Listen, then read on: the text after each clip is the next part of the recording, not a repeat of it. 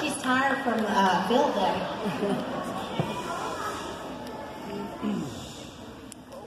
nice job.